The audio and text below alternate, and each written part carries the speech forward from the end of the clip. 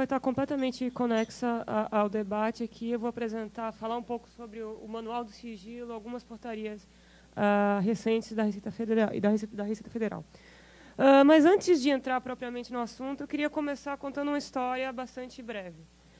Uh, alguns anos atrás, o Tony Blair ele fez o seguinte discurso. Oi. Eu queria fazer uma introdução para nosso orgulho, que a Mariana não é tributarista. Mariana é formada, é, fez o mestrado e o doutorado em filosofia do direito. Então, ela tem uma, uma, uma formação muito mais voltada para filosofia, para filosofia política, filosofia do direito, do que para direito tributário. É uma honra para a gente ver a Mariana falando com isenção, porque não tem aquele vício do tributarista que as armas são inconstitucionais. Ela olha para o sistema tributário como olha uma estadista. Então, é muito interessante ouvir a Mariana só para contextualizar a sua fala. Obrigada pelo elogio. Mas, uh, voltando ao Tony Blair. Disse, uh, disse o Tony Blair.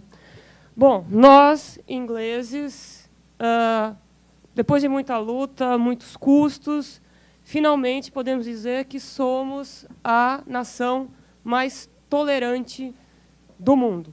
Somos tolerantes, não há oposições significativas a isso, há um consenso na Inglaterra em torno da tolerância. Daí segue o Tony Blair. E ele diz o seguinte: já que somos tão tolerantes, gostaríamos de convidar todos aqueles que não são tolerantes a deixarem a Inglaterra. Guardem essa história, voltaremos a ela já já.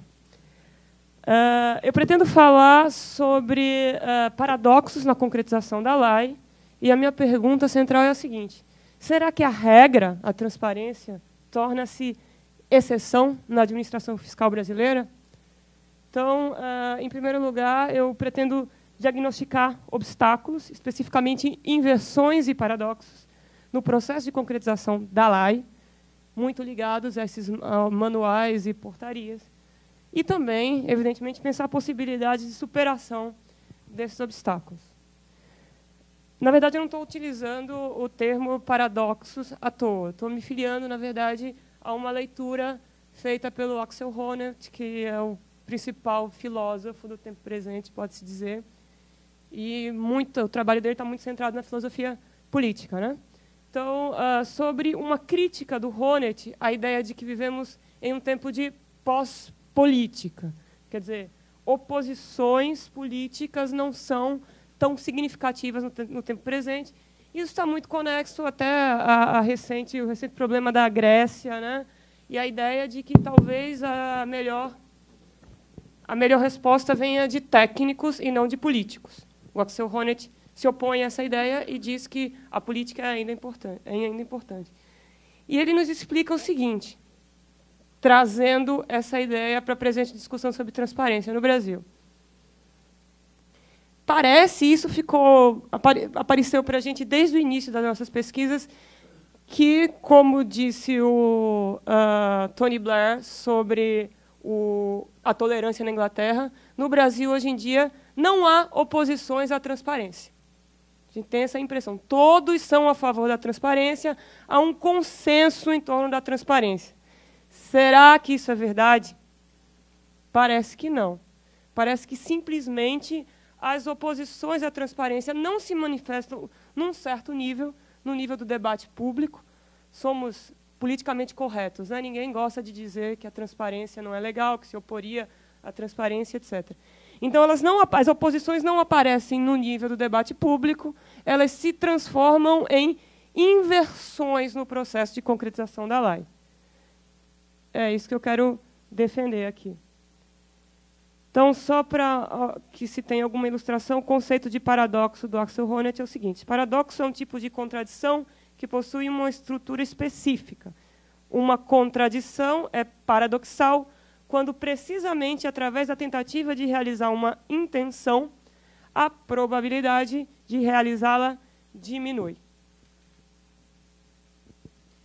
E eu vou usar dois tipos de argumento para defender essa ideia de que possivelmente há uma inversão no processo de concretização da, da lei. O segredo torna-se regra e a transparência a exceção. Eu vou contrapor a lei a alguns uh, dispositivos infralegais, a trabalho dos meninos, as respostas às uh, demandas de, de, informação dos meninos, parece que vem confirmando isso aí, de fato, o, o, a transparência é exceção na administração pública.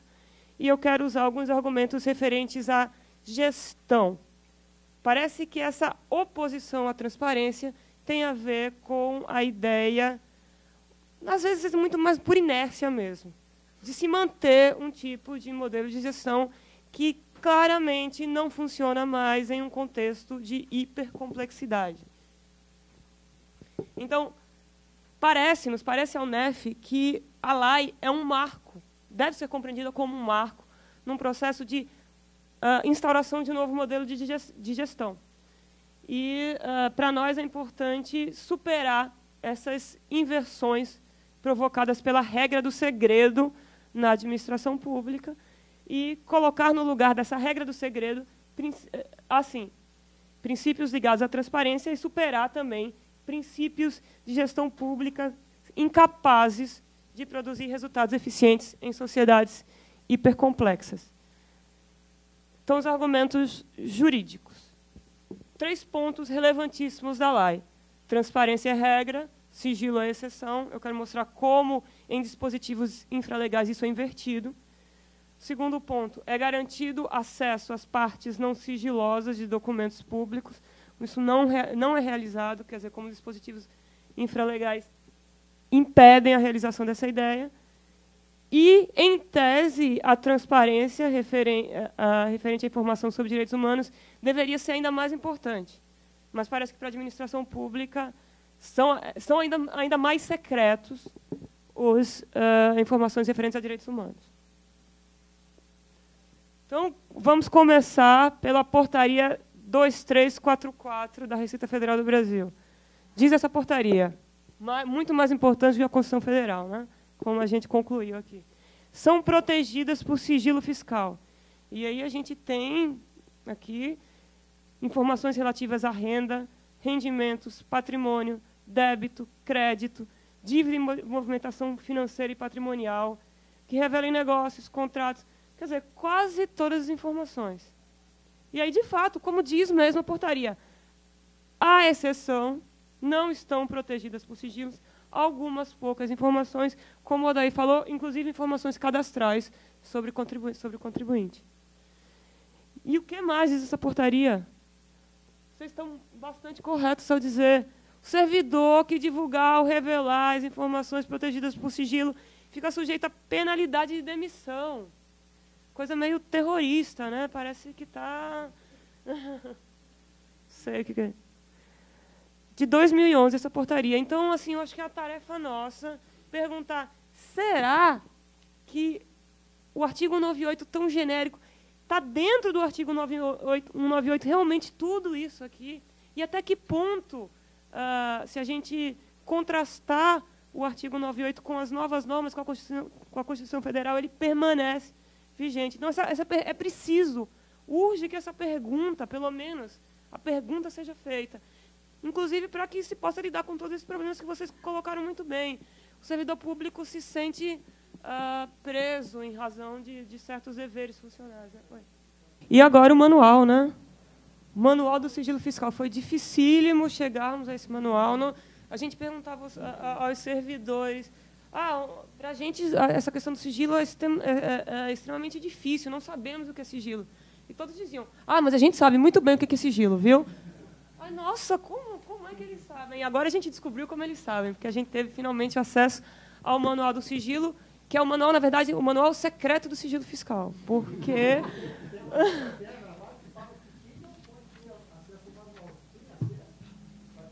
Eu. Serei presa a qualquer momento. Ainda bem que a Polícia Federal. O artigo 2 já diz, o manual estará disponível na intranet, não na internet, da Receita Federal do Brasil. É o sigilo do sigilo. Eu estou brincando aqui, mas isso é uma questão seríssima. O Joseph Stiglitz fala sobre isso. Ele diz: olha, o problema fica mais grave ainda quando não só a gente não tem informação, mas também a gente não sabe quem tem, a gente não sabe se existe e a gente não sabe quais são os critérios para divulgá-lo ou não. Esse manual do sigilo parece querer garantir isso também. Não só não há, a informação não é disponibilizada, mas a gente uh, uh, não sabe exatamente por quê. Parece que ele quer manter isso. Né? O parágrafo único diz: são inaplicáveis no âmbito da Receita Federal do Brasil eventuais interpretações da Constituição, por exemplo, que sejam contrárias ou incompatíveis com o manual. Inclusive. pois é, a lei de acesso à informação e etc. O índice do manual é sintomático. Né?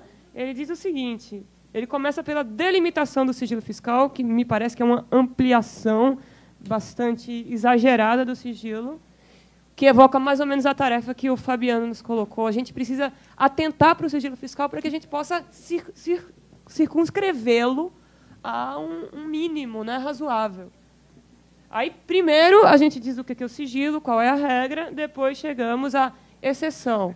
Mas depois a gente chega das informações que não são protegidas por sigilo fiscal, mas são protegidas pelo sigilo funcional. Então, é, é difícil. E a, a, a, segundo ponto é uma portaria da PGFN que também retrata bastante as dificuldades que os meninos uh, tiveram em solicitar essa informação e, e para que as instituições Sim, acho que sim. Foi o Fred que me passou, tenho quase certeza. Não é secreta essa portaria.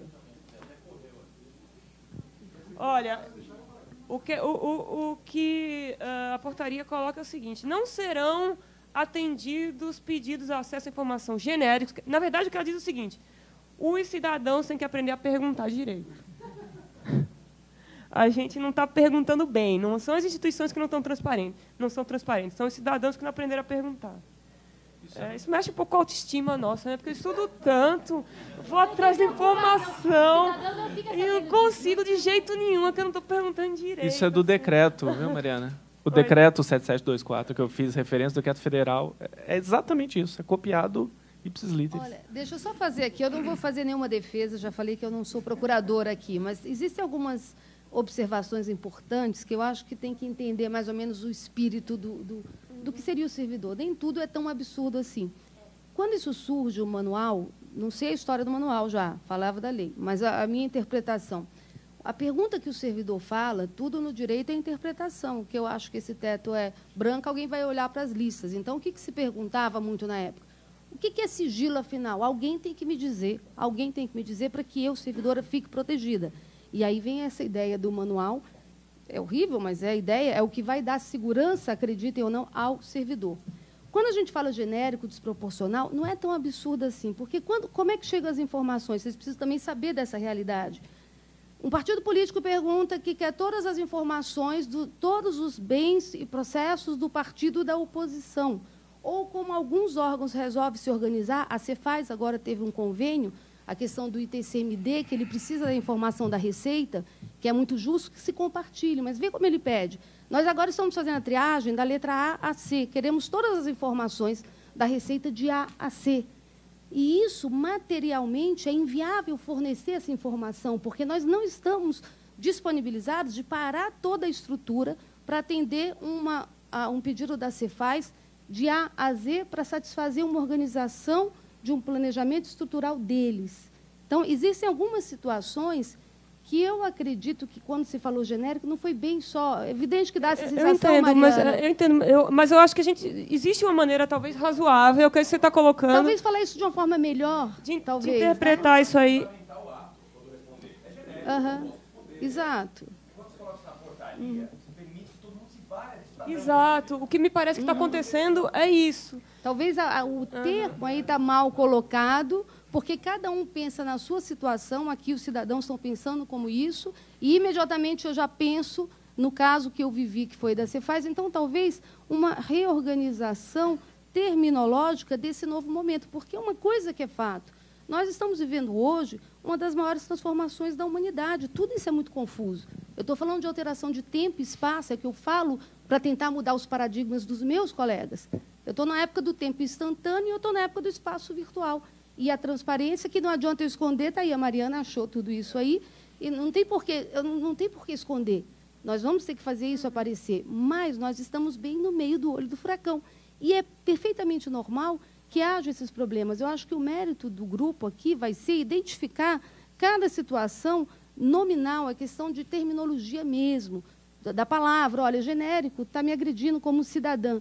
Vamos ser mais expresso e vamos fazer essas correções em cima do que a administração está vendo que tem que ser feito. Tem, tem, isso, eu concordo. Eu acho até possível fazer uma interpretação mais razoável, como você está querendo levar uh, desse artigo 9. Acho que você tem razão. Só complementar, já passo para você. Uh, mas o problema é que não é razoável, por exemplo, dar a resposta que os meninos receberam.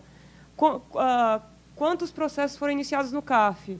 Ah, você não perguntou direito, porque nenhum processo começa no CAF. Parece a pegadinha, né? não, não, não é uma resposta razoável. razoável. Esse ponto específico não é razoável. É, e um outro problema também que eu percebi aqui é o seguinte: bom, diz a lei de acesso à informação, e para a gente isso é relevantíssimo, que se eu tenho um documento fiscal que tem algumas informações sigilosas, a parte não sigilosa do documento tem que ser publicada. Isso aqui inviabiliza, porque para publicar a parte não sigilosa tem que ter um certo trabalho de, pelo menos, ocultar uh, uh, um trecho do documento. É, então, aí, na verdade, se a gente levar talvez uma, inter uma interpretação problematizando mais esse, esse artigo 9 a gente vê que, em parte, ele inviabiliza a realização de, da lei. Pode, pode sair. Pode sair. É, é que ele pediu para...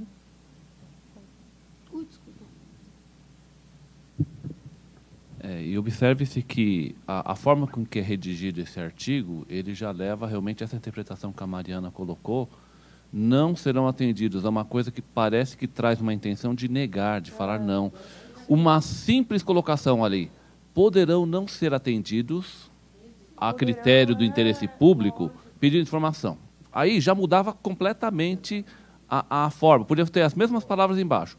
Poderão não ser atendidos é, é, em favor do interesse público. Já resolvia esse problema. Mas, realmente, essa forma que, escrita, que é escrita já leva as pessoas naturalmente a não gostarem. Não gostei desse artigo. Olha, eu estou no NEF desde 2009. A gente sempre tem trabalhado com isso. Vamos pedir informação da administração pública.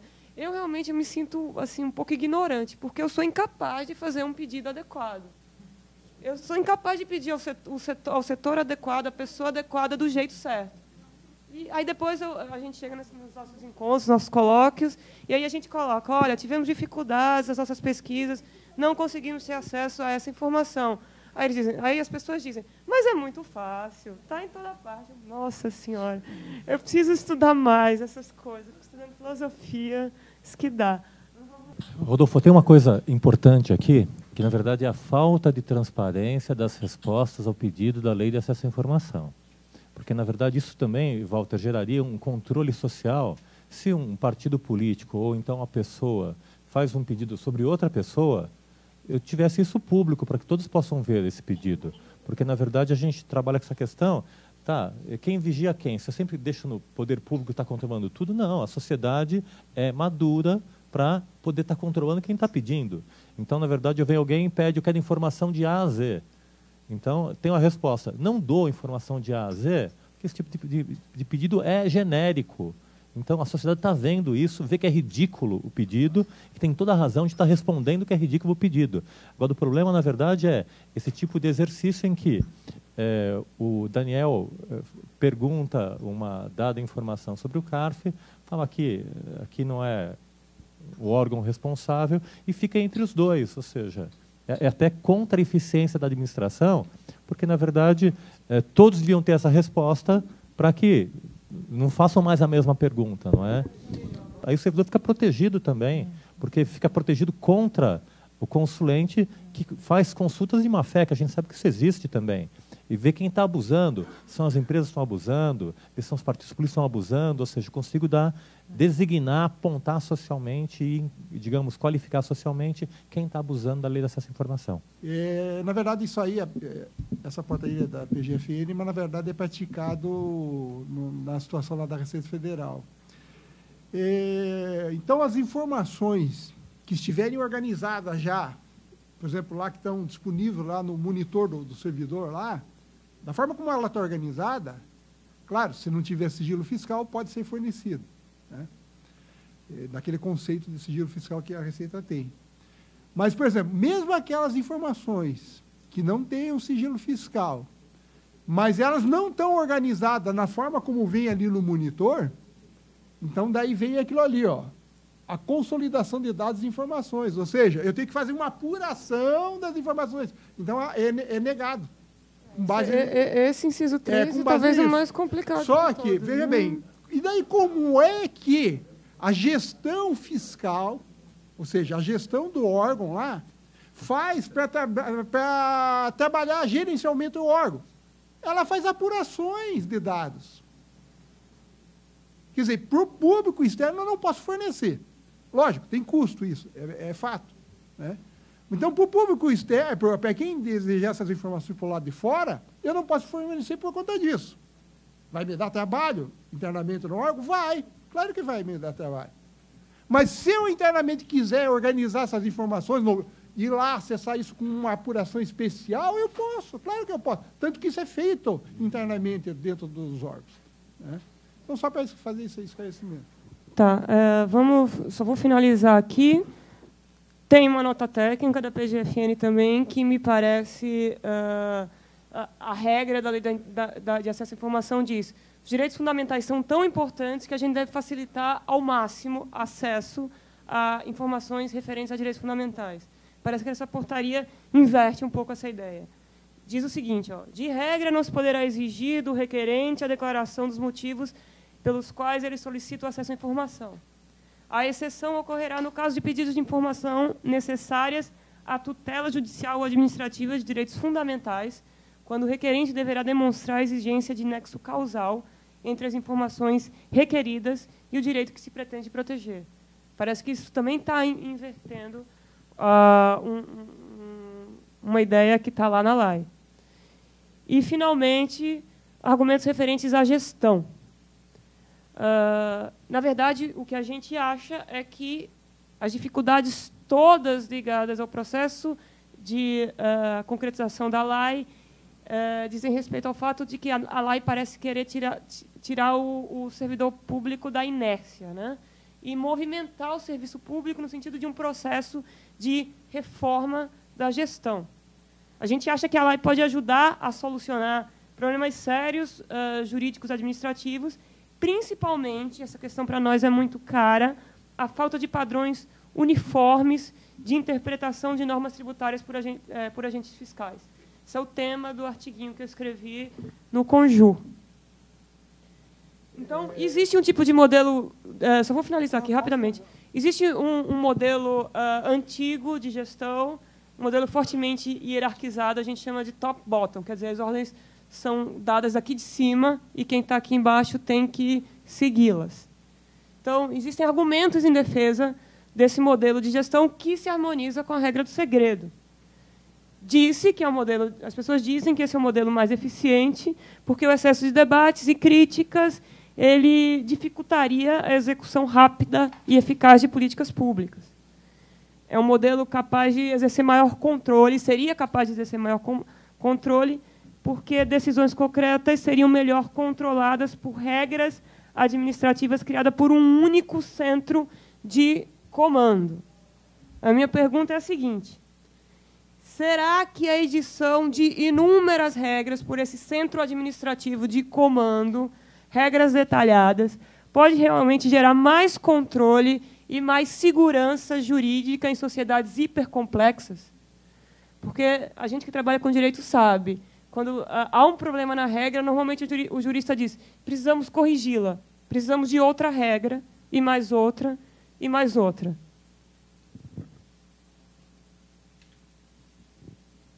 Suspeito que, em sociedade, e na verdade eu tenho boas evidências que sustentam essa, essa minha hipótese, que em sociedades hipercomplexas, modelos de administração de cima para baixo acabam por gerar efeitos opostos àqueles esperados.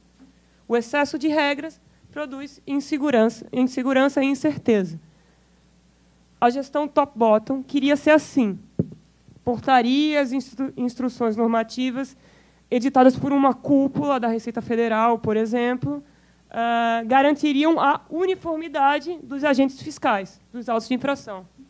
Eles queriam que a coisa funcionasse desse jeito. Mas, como o grau de complexidade hoje é muito grande, o que acontece de fato é isso aqui.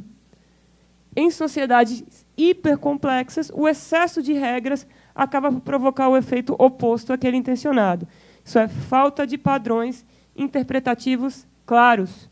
Ou como um autor que a gente gosta muito, John Brathwaite, diz, gera um tipo de gincana de regras. Quer dizer, diante daquelas inúmeras regras, o agente fiscal pode simplesmente escolher qualquer uma. E daí decidir do jeito que ele quer. Então, o excesso de regras criadas para controlar a ação do agente fiscal, ela gera uma situação de decisionismo. Ele decide como bem entender. Mas qual é a saída? É, são mais regras? Será? A gente acha que não. A saída até envolve uma modificação num outro modelo de gestão fundado na transparência e não mais no segredo. Existem diversos modelos de gestão calcados nesse paradigma aqui da transparência. Trata-se de aliar controle vertical, de cima para baixo, com controle horizontal. Quer dizer, uh, os agentes fiscais precisam uh, aprender a se comunicar entre si, é preciso que haja uma transparência interna às instituições se um agente fiscal puder ver como o outro está atuando, eles vão poder conversar e talvez chegar a critérios mais uniformes de interpretação das normas. E a gente acha também, isso é uma ideia inclusive do Fernando Abruzzo, ele que nos ensinou essa ideia aqui, que cada vez mais o agente fiscal tem que se comunicar diretamente com o cidadão. Quer dizer, não é o secretário da Receita que diz, uh, que declara o que a Receita quer para todos tem que haver uma comunicação mais direta, tem que haver mais horizontalidade.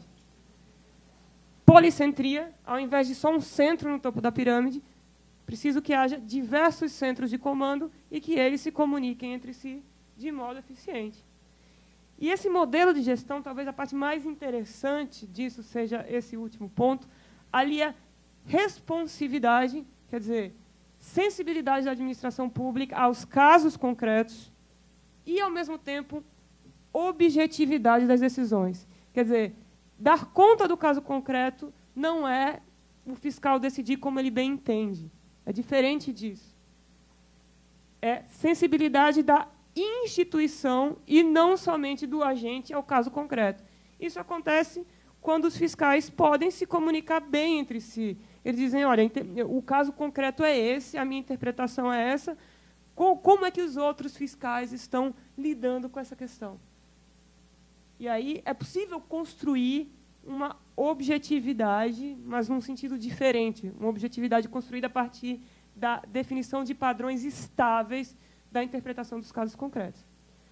E é isso que tem feito diversas administrações fiscais no mundo inteiro. As mais interessantes reformas estão sido, têm sido pautadas por essa ideia aqui. Temos o caso australiano, holandês, da Nova Zelândia, Reino Unido, Pensilvânia, Pensilvânia, nos Estados Unidos e etc. Bom, eu tenho aqui um exemplo no final, mas eu não vou me alongar demais, não. Ah, o que eu queria dizer para vocês hoje era isso. Então, obrigada pela atenção. you